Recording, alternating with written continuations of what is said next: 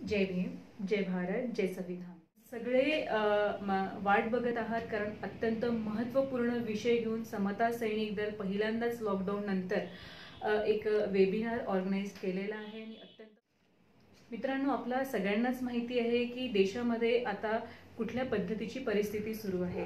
Lockdown सुरू होण्याच्या आधी जो फार मोठ्या प्रमाणात जे आंदोलन झालं आपल्या सगळ्यांनाच माहिती आहे शाहीनबागचं आंदोलन तिथपासनं C A N R C N P R काय आहे हे देशातील लोकांना नागरिकत्व काय आहे आणि त्याच्यावरती या व्यवस्थेने कशा पद्धतीने घाला घातलेला आहे हे सगळं चक्र जवळपास चार ते पाच महिने चाललं आणि त्याच्यानंतर मग लॉकडाऊन सुरू झाला लॉकडाऊन सुरू झाल्यानंतर आता पाच ते सहा महिन्याचा काळ झाला. जे काही संकट या भारत देशावरती आलेलं आहे देशाच्या लोकतंत्रावरती आलेलं आहे C A N R C N P आरच्या माध्यमातून त्या संदर्भात आपण सर्व जाणकार आहातच. परंतु हा मुद्दा कुठल्याही परिस्थितीमध्ये दबू नये किंवा आंदोलन कुठल्याही पद्धतीने शांत होऊ नये. कारण जर आंदोलन शांत झालं तर लोकतंत्र धोक्यामध्ये येईल आपल्या सर्वांचं नागरिकत्व धोक्यामध्ये येईल. आणि त्याच्यामुळे भारतीयांना आपलं लोकतंत्र वाचवण्यासाठी देशाचं संविधान वाचवण्यासाठी आणि देशातील प्रत्येक नागरिकाचं नागरिकत्व वाचविण्यासाठी जो मुद्दा आहे म्हणजे जे जे संवैधानिकरित्या लढतात लोकतंत्र वाचविण्यासाठी लढतात त्यांच्यावरती जे आंदोलनकारी असतात त्यांचा आवाज दाबवण्या दाबण्यासाठी येथील व्यवस्था नेहमीच प्रयत्नरत असते आणि मोठमोठे षड्यंत्र देखील त्यांच्या माध्यमातून अविरतपणे राबविण्यात येत असतात. नागरिकत्व संपवण्यात तुम्हाला माहीत आहे लॉकडाऊन उठल्यानंतर जे काही सी ए एन आर सीच्या माध्यमातून ही जी सिस्टीम आहे यांना जी भूमिका घ्यायची होती ते नक्कीच घेणार. तद्वतच आपण ह्या संदर्भात आपली काय ठोस पावलं आहे ते ते आपल्याला संघर्षरत राहावंच लागेल. आपल्याकडे त्या पद्धतीची स्ट्रॅटेजी अवेलेबल असायला हवी. पण आपण कुठल्या माध्यमातून आता लॉकडाऊन असल्यामुळे आपण जमावाने तर आंदोलनं नाही करू शकत पण एकत्रित न येता देखील आपल्याला आता आपल्या आंदोलनाच्या दिशा कशा आपल्याला बदलवायच्या आहे ह्या संदर्भात देखील आज आपल्या आपल्याकडे समता सैनिक दलाच्या माध्यमातून ॲडव्होकेट फिरदोस मिर्झा सर हे आपल्याला मार्गदर्शन करणार आहे. आम्ही आपला अधिक वेळ घेणार नाही कारण सरांना परिचयाची आवश्यकता मुळात नाहीच. ते संविधान तज्ज्ञ आहे कायदेतज्ञ आहे कॉन्स्टिट्युशनल एक्सपर्ट म्हणून ते प्रसिद्ध आहे आणि अर्थातच जे जे जेव्हा जेव्हा असंवैधानिक कारवाया होतात तेव्हा तेव्हा ते बहुजन वर्गाला आणि भारतीयांना हे लोकतंत्र कशा पद्धतीने मजबूत ठेवायचं या संदर्भात वेळोवेळी अत्यंत अभ्यासपूर्ण ते मार्गदर्शन करतात. सी ए एन आर सीच्या विषयावरती देखील त्यांनी कंटिन्युअस सहा महिन्यापर्यंत मार्गदर्शन केलेलं आहे. आणि आजचा हा जो विषय आहे देशामध्ये क्या भारत के नागरिकों से नागरिकता के अधिकार छीनने वाले असंवैधानिक कानून का विरोध करना देशद्रोह है। विषय पुन्हा एकदा ऐका क्या भारत के नागरिकों से नागरिकता के अधिकार छीनने वाले असंवैधानिक कानून का विरोध करना क्या देशद्रोह है? लॉकडाऊन नंतर प्रथमच समता सैनिक दलाच्या माध्यमातून ॲडव्होकेट फिरदोस मिर्झा सर हा विषय घेऊन आपल्यापर्यंत येत आहे. कारण भविष्यामध्ये येणारा जो काळ आहे ज्या समस्या आहे ह्या फार जटिल असणार आहे. लोक घातक असणार आहे संविधानाला घातक असणार आहे. आणि म्हणूनच हा विषय अत्यंत महत्त्वपूर्ण आहे. आपण सर्वांनी हा विषय समजून घेऊन नंतरच्या आपल्याला काही स्टेप्स आपल्या देशाला वाचवण्यासाठी देशाचं लोकतंत्र आणि संविधान वाचवण्यासाठी आपल्याला समोरील कुठल्या योजना आखायच्या आहे हे सरांच्या मार्गदर्शनामध्ये तुम्हाला नक्कीच त्याची उत्तरं मिळतील. आणि विचार व्यक्त झाल्यानंतर जर तुमच्या मनामध्ये काही प्रश्न असतील तर नक्कीच तुम्ही लाईव्हच्या माध्यमातून सर लाईव्ह असणारच आहे. ते तुमच्या ते विषयाला तर अर्थातच नक्कीच न्याय देतील. शिवाय तुमच्या प्रश्नाचं देखील ते निराकरण करतील. तर मी तुमचा आता अधिक वेळ घेणार नाही. वळूया विषयाकडे. मी फिरदोस मिर्झा सरांना विनंती करते की आजच्या या महत्त्वपूर्ण विषयासंदर्भात त्यांनी आमच्या देशबांधवांना मार्गदर्शन करावे. जय भीम. थँक्यू स्मिता जय भारत. जय भीम. समता सैनिक दल के आज के इस वेबिनार में आप सभी का स्वागत है। सबसे पहले मैं शुक्रिया अदा करना चाहूँगा समता सैनिक दल का, जिन्होंने ये सब्जेक्ट चुना। समता सैनिक दल के बारे में 1938 में डॉक्टर बाबा साहब आम्बेडकर ने एक बात कही थी कि समता सैनिक दल का सिपाही, यानी समाज सेवा के लिए हमेशा हथेली पर सर रखकर लड़ने वाला लड़वैया है। और इसका एक्सपीरियंस इसका अनुभव हमको ये पूरे लॉकडाउन में आया। हमने देखा कि सौ दिन तक लगातार समता सैनिक दल के सिपाही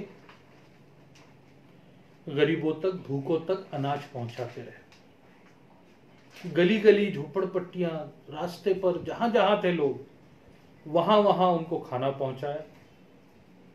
हेल्थ क्लिनिक चला रहे हैं। ये बहुत बड़े काम है।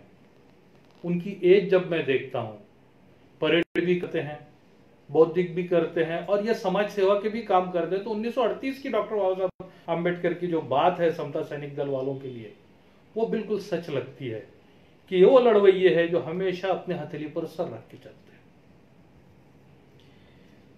आज ये टॉपिक कि क्या सीए के कानून का विरोध करना देशद्रोह है। ये टॉपिक क्यों लिया? ये जब मैं इनसे पूछा तो डॉक्टर कफील खान, इनका जो केस आया है सामने, उनकी जमानत हो गई, ऐसा चल रहा था। एक्चुअली जमानत नहीं थी वो। उनका जो डिटेंशन का ऑर्डर है, वही हाईकोर्ट ने कॉश किया था। तो उन पर यह इल्ज़ाम था कि उन्होंने अलीगढ़ मुस्लिम यूनिवर्सिटी में एक भाषण दिया था। जिस भाषण में उनके ऊपर इल्ज़ाम था कि ये देश विरोधी है, जिससे देश में अराजकता हो सकती है, ऐसा उन पर तो कोर्ट ने कहा कि नहीं, इनका भाषण अगर पूरा हम सुने तो देश विरोधी नहीं, बल्कि पूरे देश को इकट्ठा करने वाला है। लॉकडाउन के दौरान दिल्ली में कई सारे सी एनआरसी का विरोध करने वाले स्टूडेंट्स महिलाएँ, कार्यकर्ता इनके ऊपर पुलिस कार्रवाई हुई। तो इससे यह समझ में आ रहा है कि एडमिनिस्ट्रेशन कहीं ना कहीं इस आंदोलन को कानूनी तौर पे दबाना चाहता है और लोगों में एक मैसेज देना चाहता है कि अगर आप कानून का विरोध करोगे, भले ही वो डेमोक्रेटिक वे से हो तो हम आपके खिलाफ में कानूनी कार्रवाई करेंगे, देशद्रोह की कार्रवाई की जा सकती है। तो समता सैनिक दल ने ये टॉपिक लिया, जिससे एक आम शहरी में, आम नागरिक में एक जागरूकता निर्माण होगी कि क्या ऐसा है? तो चलिए आगे चल के देखते हैं कि हमने जब देखा, पूरे मुल्क में या बल्कि पूरी दुनिया में इसका आंदोलन हो रहा था तो आंदोलनकर्ताओं के हाथ में क्या हथियार थे?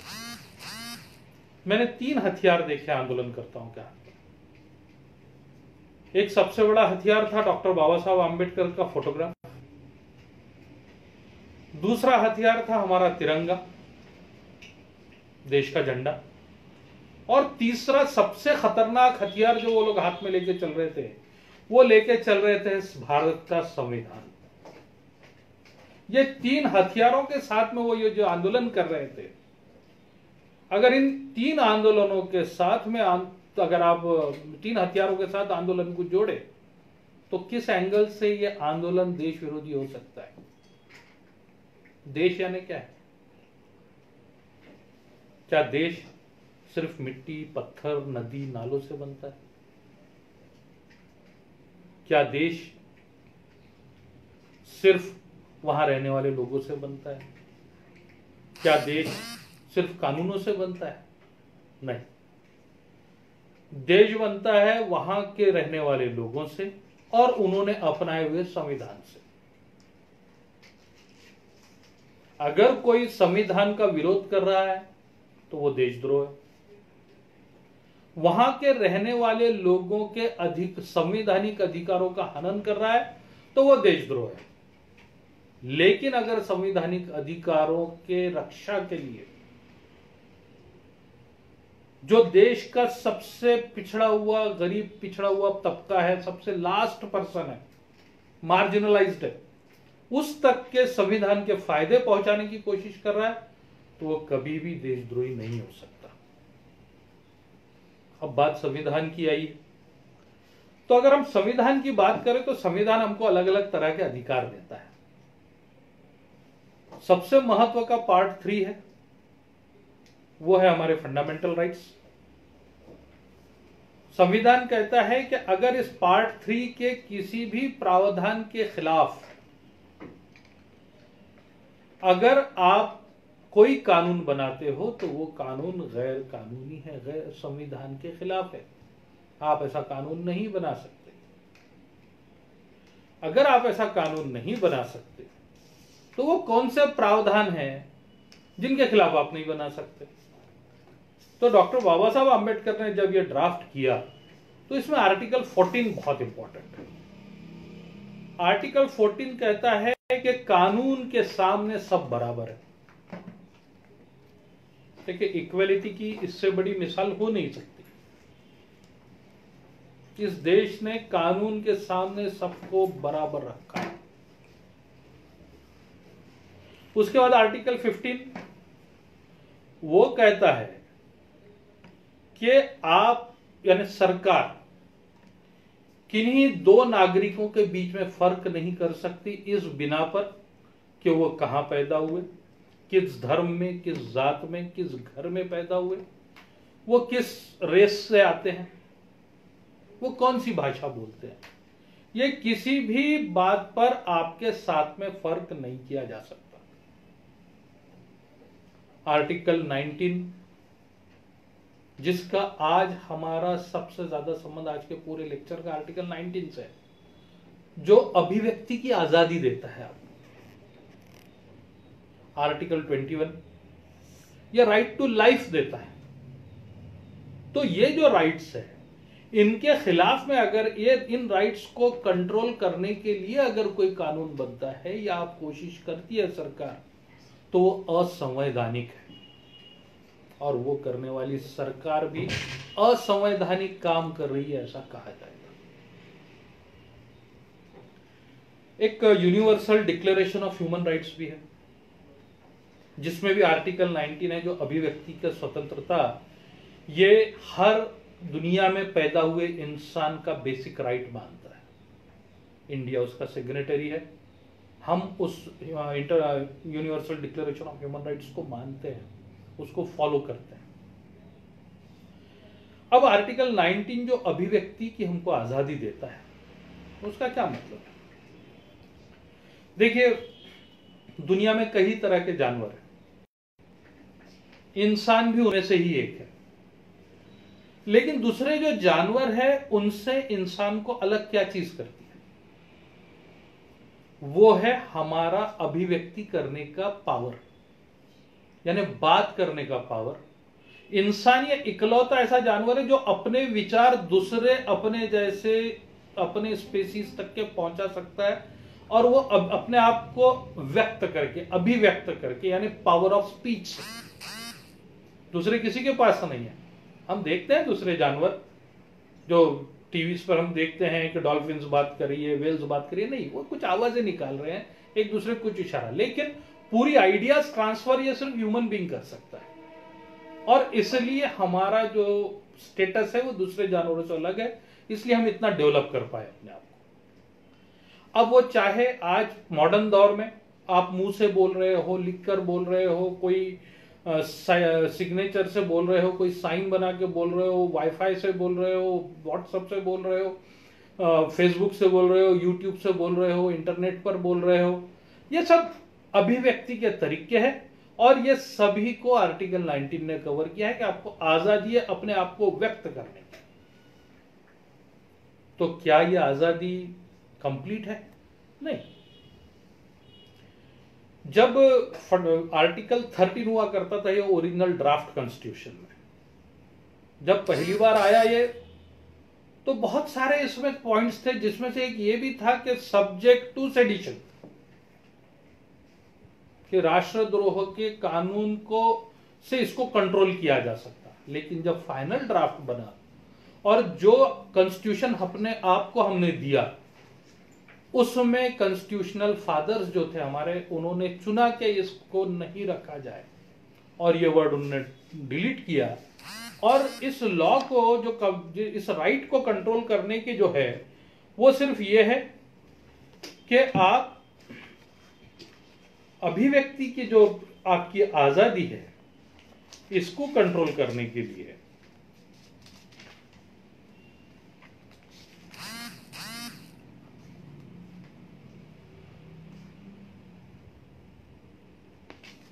भारत की प्रभुता और अखंडता, यानी सोवेर्निटी और इंटीग्रिटी राज्य की सुरक्षा, विदेशी राज्यों के साथ मैत्रीपूर्ण संबंध, लोक व्यवस्था, शिष्टाचार या सदाचार के हितों में अथवा न्यायालय अवमान, मानहानि या अपराध उद्दीपन के संबंध में युक्ति युक्त निर्बंधन जहाँ तक कोई विद्यमान विधि अधिरोपित करती है, वहाँ तक उसके प्रवर्तन पर प्रभाव नहीं डालेगी। इसका अगर सीधी सीधी आसान हिंदी में मैं बताऊँ आपको तो जहाँ देश की एकता, अखंडता और देश के जो अधिकार है देश होने के सोवरनिटी इनको अगर नुकसान नहीं पहुँच रहा है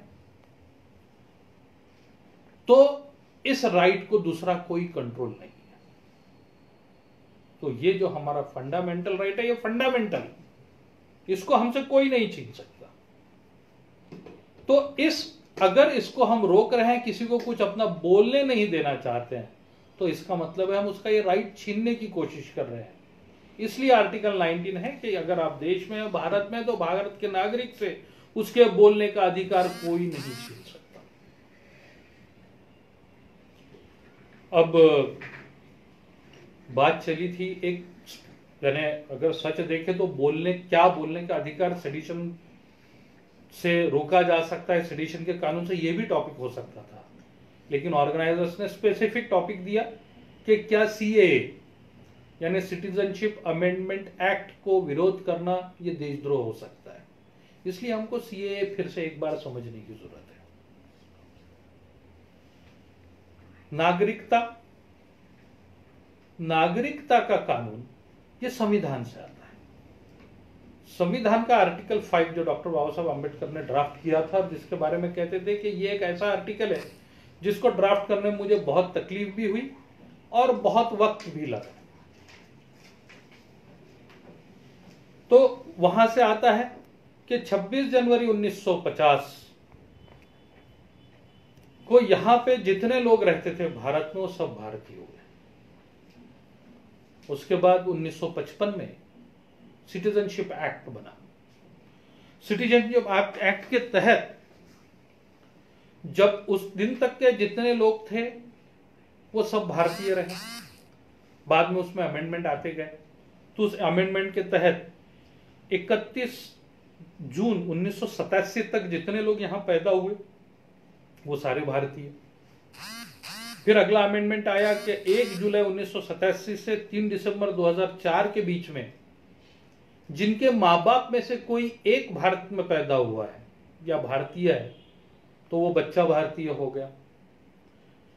उसके बाद, अब जो अमेंडमेंट इन्होंने लाया, अब उसके बाद एक अमेंडमेंट आया कि 3 दिसंबर 2004 के बाद जो बच्चे भारत में पैदा हुए, उन दोनों में से कोई एक माँ बाप भारतीय है। लेकिन दूसरा इलीगल माइग्रेंट है तो भारतीय नहीं होगा। यानी हमने अपनी नागरिकता को लिमिटेड कर दिया। बाप भारतीय है, माँ इलीगल माइग्रेंट है तो नहीं। माँ भारतीय है, बाप इलीगल माइग्रेंट है तो नहीं। यानी दोनों का होना ज़रूरी। यहाँ तक भी ठीक था। और उसके बाद फिर सी ए टू यानी सिटीजनशिप अमेंडमेंट एक्ट 2019 आया, जो ये कहता था कि अफ़गानिस्तान, बांग्लादेश और पाकिस्तान से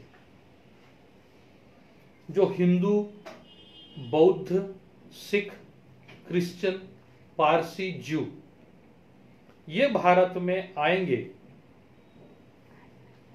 यानी 31 दिसंबर 2014 तक के जो आ गए उनको यहाँ की नागरिकता दे दी जाएगी। जब ऊपर ऊपर देखा गया तो लोगों ने सोचा कि इस कानून में भारतीय लोगों के लिए कुछ नहीं है।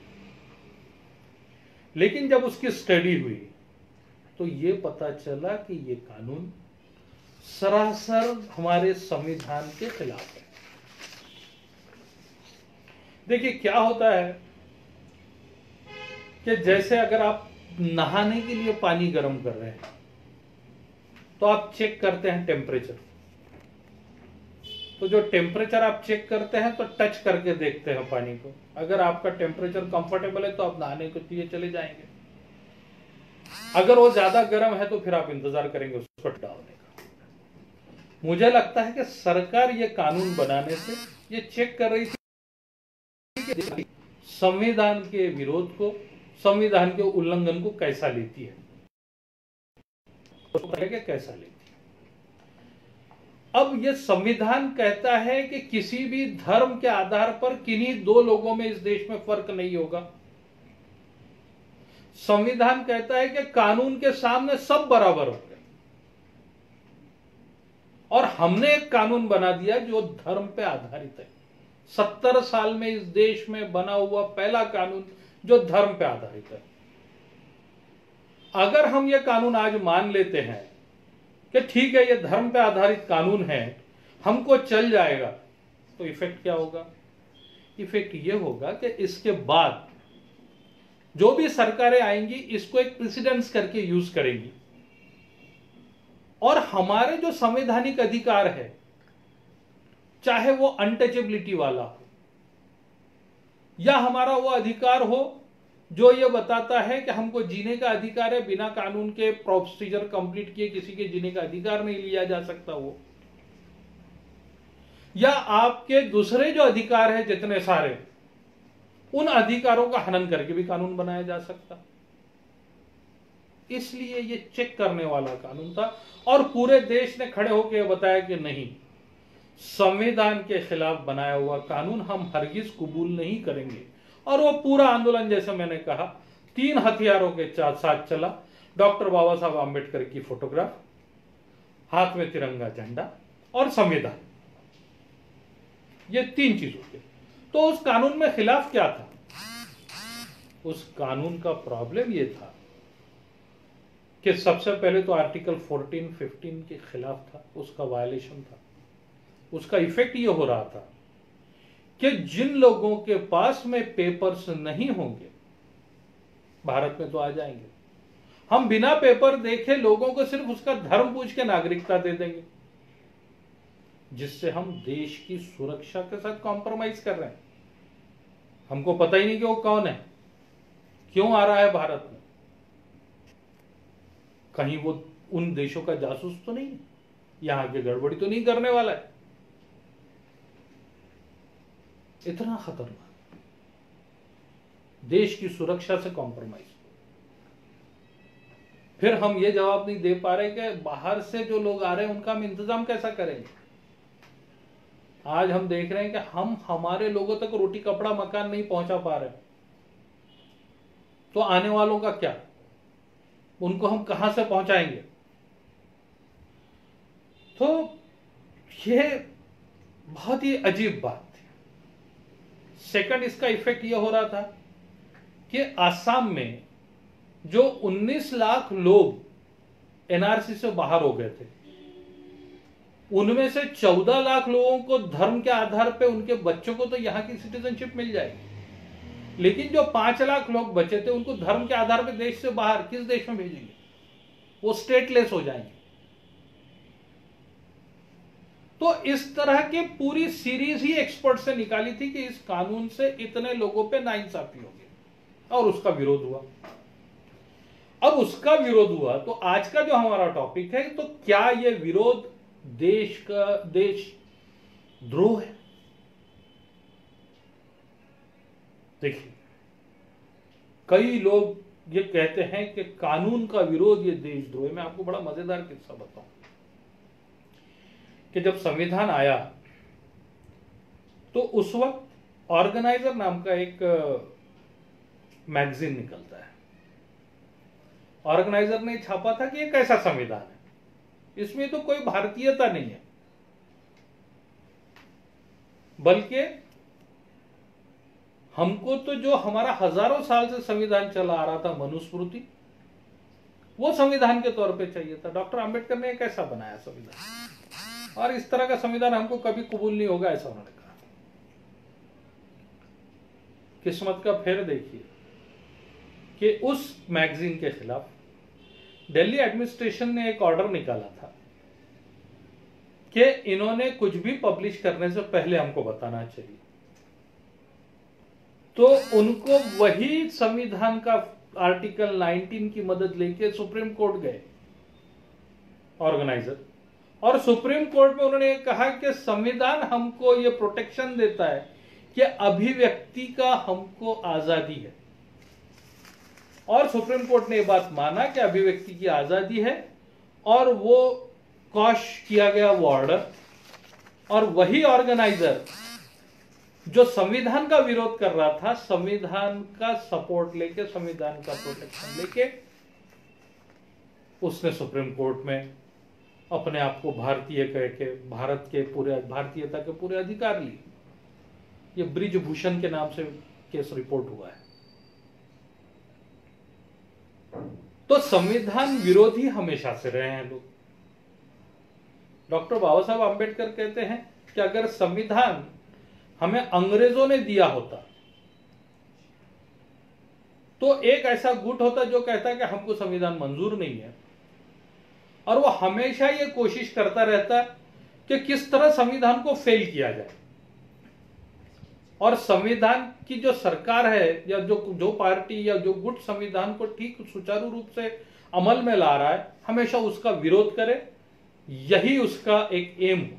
तो ऑर्गेनाइजर चलाने वाले जो गुट है, जो कहते हैं कि राष्ट्रीय स्वयंसेवक संघ से जुड़ा हुआ गुट है वो हमेशा ही संविधान को 1950 में उन्होंने कहा था कि हमें कबूल नहीं है।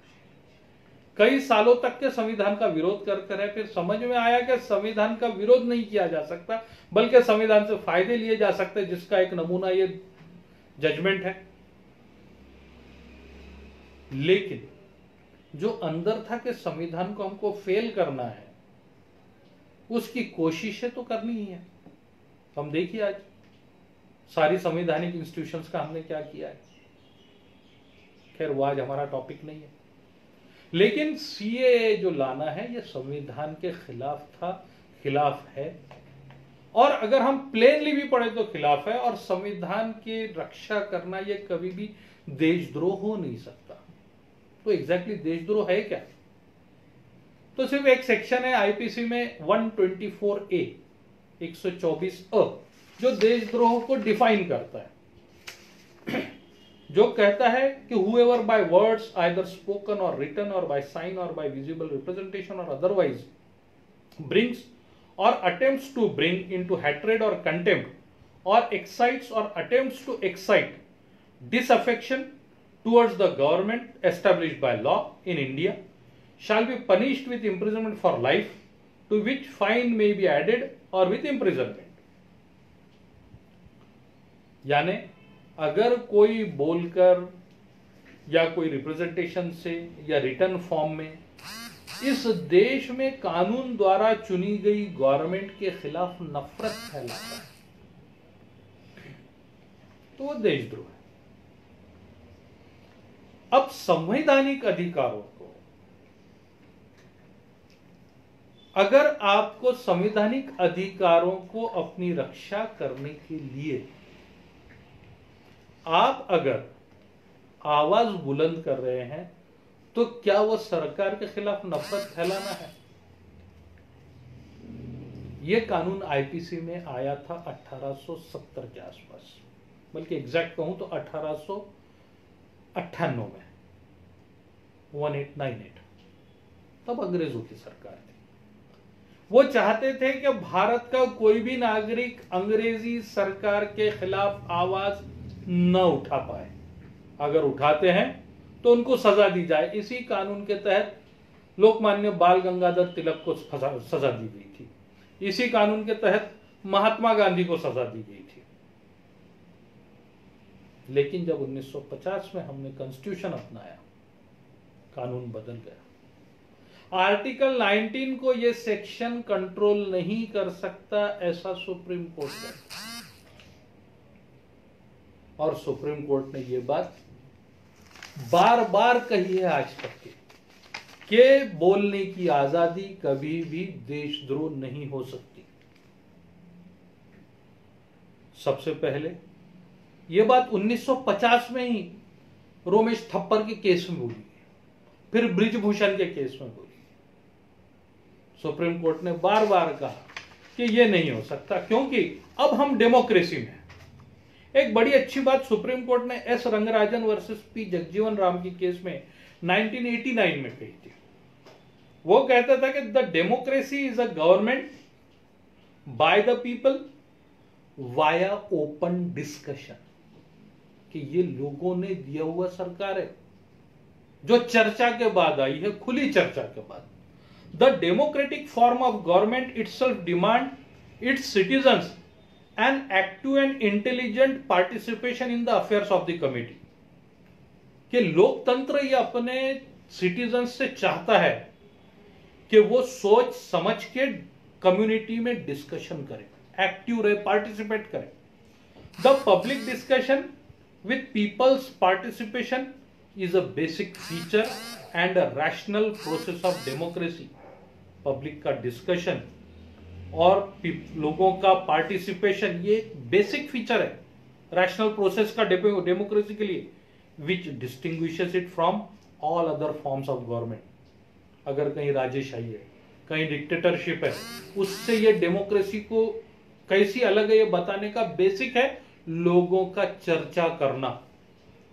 The democracy can neither work nor prosper unless people go out to share their views democracy कभी अपने आप को बुलंदी पर नहीं ला सकती, बड़ा नहीं कर सकती, जब तक के उसके पार्टिसिपेंट्स यानी नागरिक, अपने व्यूज़ एक दूसरे से शेयर ना करें। The truth is that public discussion on issues relating to administration has positive value और सच्चाई, सुप्रीम कोर्ट कहता है आगे कि सच्चाई यही है कि लोगों का डिस्कशन जो एडमिनिस्ट्रेशन के इश्यूज़ है उस पर डिस्कशन करना ही सबसे बड़ा पॉजिटिविटी है डेमोक्रेसी के लिए। अब अगर हम ये कहें कि कानून हमने बनाया है, उस कानून का किसी ने विरोध किया तो देशद्रोह है। वो संविधान का सुप्रीम कोर्ट ने लगाया है, संविधान के अधिकारों का लगाया है, क्या उसके खिलाफ नहीं जाती है बात? देश कैसा चले, कौन से कानून हो कानूनों का पालन हो ये लोग ही तो तय करेंगे। क्या ये लोगों ने दी हुई सरकार है? या लोगों के लिए सरकार है? जब डॉक्टर बाबा साहब आंबेडकर ने अपना आखिरी भाषण दिया था संविधान सभा में, उन्होंने इस बात का उल्लेख किया था। मैं उसका एक पैरा आपके लिए पढ़ता हूँ।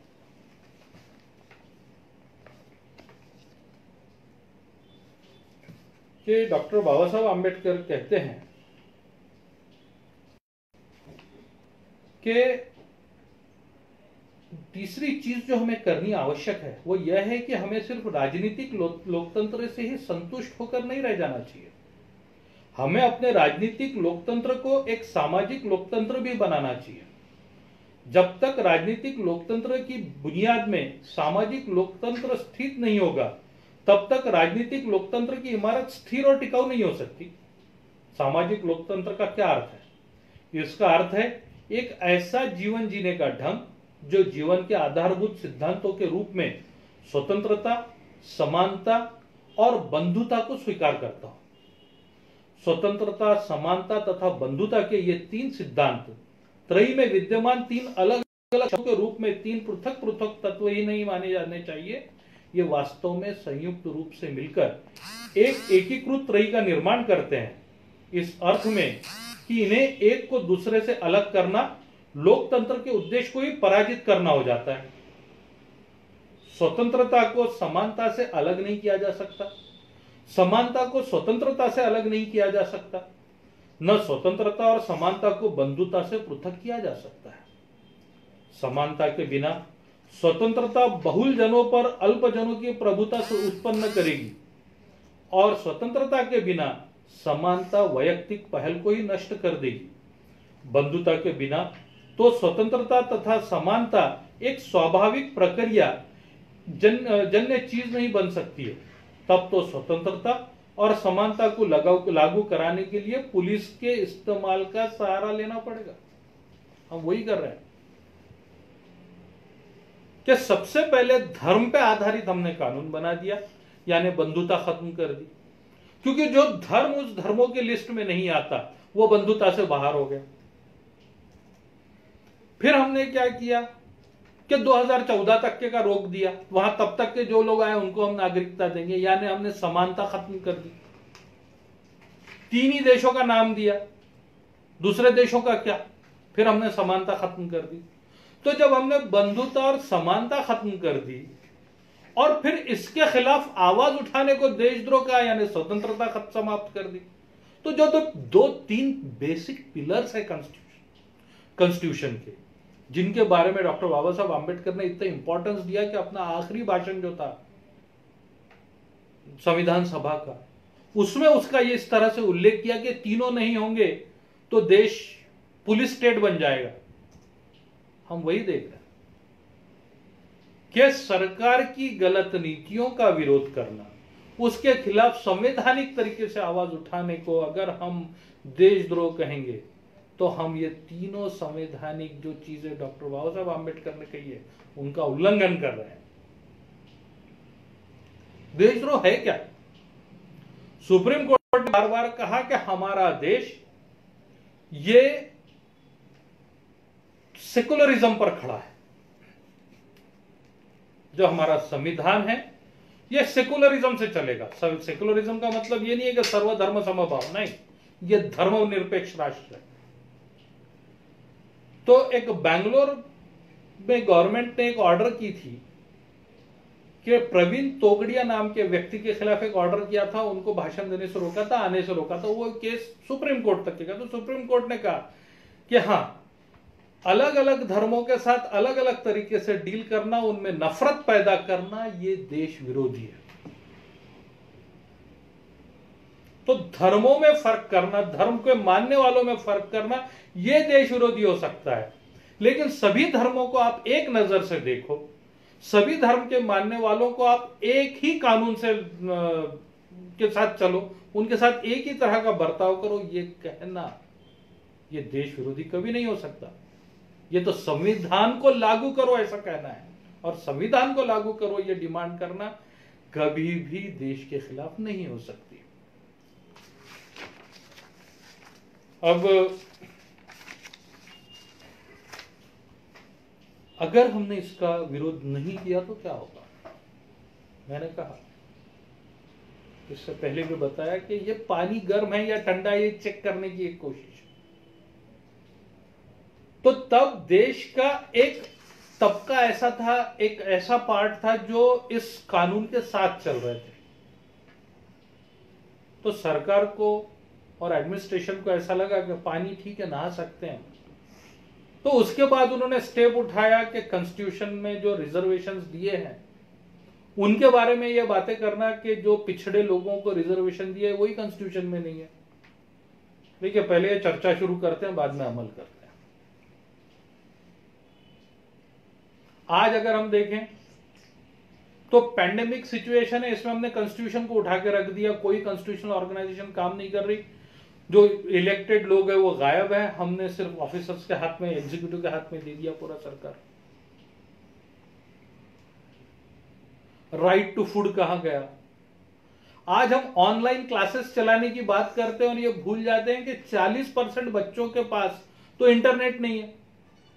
अगर इंटरनेट है तो स्मार्टफ़ोन नहीं है तो वो बच्चे जो right to education equal education की हम बात करते हैं इक्वलिटी की बात करते हैं तो वो बच्चे एजुकेशन से दूर हो गए।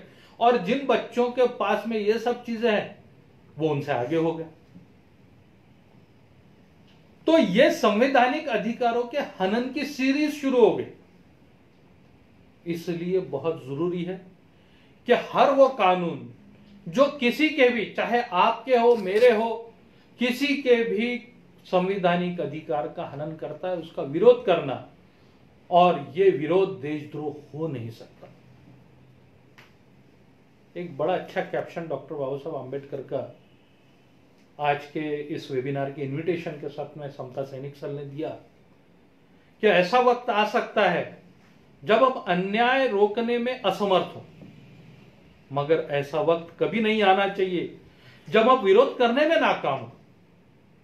देखिए, डॉक्टर बाबा साहब आम्बेडकर हमसे उम्मीद करते हैं कि ठीक है, हम वो रोक पाए, नहीं रोक पाए, वो सेकेंडरी है, लेकिन क्या हमने कोशिश नहीं करनी चाहिए? डॉक्टर बाबा साहब आम्बेडकर हमसे उम्मीद करते हैं कि हमने कोशिश करनी चाहिए हर असंवैधानिक चीज़ का विरोध करने की।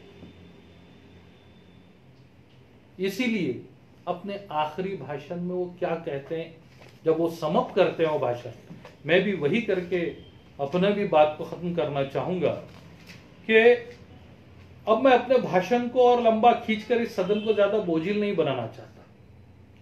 इसमें कोई शक नहीं कि स्वतंत्रता हमारे लिए एक प्रसन्नता का विषय है। लेकिन हमें नहीं भूलना चाहिए कि इस स्वतंत्रता ने हमारे ऊपर कुछ भारी जिम्मेदारियाँ भी डाल दी है। इस स्वतंत्रता ने आगे चलकर कुछ भी गलत और गड़बड़ होने पर उसका दोष अंग्रेज़ों के मत्थे मड़ने का हमारा पुराना बहाना खत्म कर दिया है। इसके बाद आगे चलकर चीज़ें अगर गलत दिशा में जाती है और कुछ गड़बड़ियाँ होती है तो उसके लिए हमें अपने अलावा किसी और को दोष देना बेमानी होगा।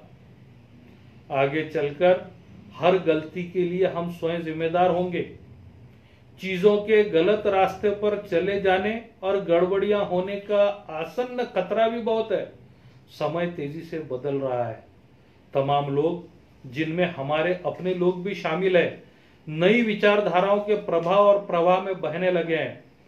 वे सिर्फ़ जनता द्वारा चुनी, बनी सरकार से थकते जा रहे हैं। वे जनता के लिए काम करने वाली सरकार पाने के लिए उतावले और व्यग्र हो रहे हैं। और इस बात से उदासीन या लापरवाह है कि ऐसी सरकार जनता की और जनता द्वारा सरकार होगी भी या नहीं? यदि हम इस संविधान को बरकरार रखना चाहते हैं, जिसमें हमने जनता की, जनता द्वारा और जनता के लिए सरकार संबंधी सिद्धांत को स्थापित करने का प्रयास किया है तो हमें यह दृढ़ संकल्प लेना होगा कि हम न तो उन बुराइयों को पहचानने और मानने में हिचकिचाएँ जो हमारी राह का रोड़ा बनकर बाधा डालती है, तथा जिन लोगों को जनता द्वारा सरकार के मुकाबले जनता के लिए सरकार को अधिक तरजीह और महत्व देने के लिए लालायती और प्रेरित करती है, और उन हम, और हम उन बुराइयों को दूर करने की अपनी पहले में शीतल पहल में शिथिलता आने दें। देश की सेवा का बस यही एकमात्र रास्ता है। इससे बेहतर कोई रास्ता मुझे दिखाई नहीं देता। डॉक्टर बाबा साहब आम्बेडकर चाहते हैं कि हम हर हाल में इस कॉन्स्टिट्यूशनल डेमोक्रेसी की रक्षा करने के लिए उठकर खड़े हों। और वो करना यही देश सेवा का सबसे अच्छा रास्ता है। तो जो देश सेवा का सबसे अच्छा रास्ता है, वो देशद्रोह कभी नहीं हो सकता। इसलिए आज के इस वेबिनार से मैं अपनी ये राय रखना चाहूँगा कि संवैधानिक अधिकारों की रक्षा करने के लिए संवैधानिक तरीके से सीए का किया जा रहा विरोध किसी भी अर्थ में देशद्रोह नहीं, बल्कि देशभक्ति है। और आप सभी से इसी देशभक्ति की उम्मीद करते हुए मैं इजाज़त चाहता हूँ। समता सैनिक दल का फिर से एक बार बहुत बहुत धन्यवाद देते हुए आपसे इजाज़त चाहता हूँ। जय भारत जय भीम. खूप खूप धन्यवाद सर. अत्यंत धीरगंभीर हा विषय आहे. देशाचं भविष्य हा विषय घडवणार आहे. अत्यंत सोप्या शब्दामध्ये तुम्ही जनतेला हा विषय पटवून दिलेला आहे की डॉक्टर बाबासाहेब आंबेडकरांनी जे आर्टिकल फिफ्थ आहे त्या म्हणजे सिटिझनशिप त्यासाठी किती मेहनत घेतली. अंडर आर्टिकल थर्टीन काय आहे? फोर्टीन काय आहे? Right to equality right to freedom of speech काय आहे? इथे जगण्याचा सगळ्यांना अधिकार आहे म्हणजेच राईट टू लाईफ असे सगळे आर्टिकल्स जे महत्त्वपूर्ण संविधानामधील आर्टिकल आहे आपल्याला बोलण्याचा अधिकार आहे आणि अर्थातच संविधानिक पद्धतीने हक्क अधिकार वाचविण्यासाठी आणि देशाच्या हिताच्या ज्या ज्या काही बाबी असेल त्यासाठी भारतातील जनतेने बोलायलाच पाहिजे आणि अर्थातच तो देशद्रोह होऊ शकत नाही आणि ते डेमोक्रेटीला मजबूत करण्यासाठी देशाला वाचवण्याचं फार मोठं असं माध्यम आहे. हे अतिशय तुम्ही थोडक्यात पण अभ्यासपूर्ण आणि साध्या सोप्या शब्दामध्ये तुम्ही जनतेला पटवून दिलेलं आहे. शिवाय डॉक्टर बाबासाहेब आंबेडकर स्वतः म्हणतात की एक वक्त ऐसा आ सकता है की आप अन्याय रोकने के लिए असमर्थ हो सकते हो. लेकिन ऐसा वक्त कतई नहीं आना चाहिए कि आप विरोध करने के लिए तक आप असमर्थ होंगे। तर सांगण्याचं तात्पर्य हेच आहे की जे काही सी ए एन आर सी लॉकडाऊनच्या देशामध्ये संपूर्ण देशामध्ये शाहीनबाग कसं लढलंय हे संपूर्ण विश्वालाच माहिती आहे की आता म्हणजे ज्यांचा जन्म या भारत देशामध्ये होतो कॉन्स्टिट्यूशन मेकर म्हणतात की तो भारताचा नागरिक आहेच. परंतु आपल्याच देशामध्ये आपल्या आपल्याला स्वतःचं नागरिकत्व सिद्ध करावं लागते म्हणजे हा देशवासियांचा अपमान आहे. तर अशा पद्धतीचा सी एन आर सी समोर येणारं जे काही संकट आहे ही जी सिस्टीम आहे हे जे सरकार आहे हे जनतेला टेस्ट करू इच्छित आहे. आणि म्हणून ते एक एक मुद्दे पुढे काढत आहे.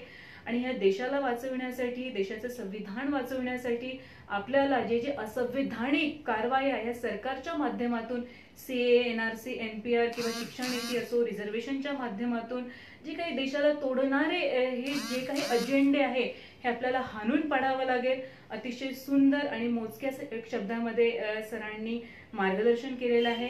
मी समता सैनिक दलाच्या वतीने सर तुमचं खूप खूप आभार मानू इच्छिते आणि अर्थातच आभार मानण्यापेक्षा आम्ही त्यांच्या ऋणात राहू इच्छिते कारण समता दलाला नेहमीच भक्कम असा आधार माननीय फिरदोस मिर्झा सरांचा राहिलेला आहे.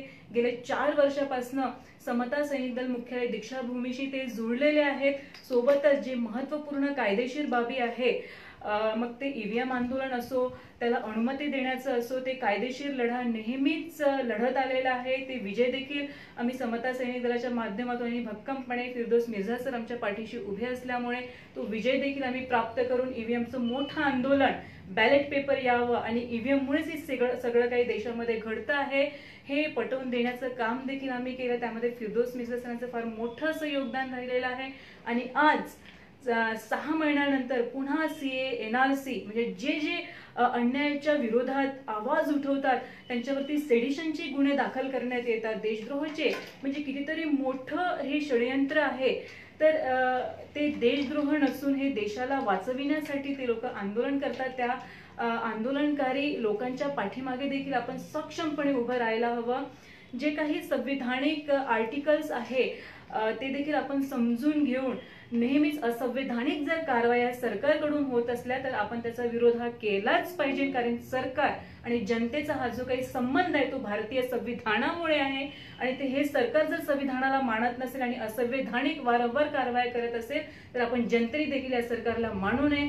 हेच एकूणच ह्या सरांच्या स्पीचचा हा सार होता. मी पुन्हा एकदा समस्त सैनिकांच्या वतीने सरांचं खूप खूप आभार मानू इच्छिते. थँक्यू सो मच सर जय भारत जय संविधान.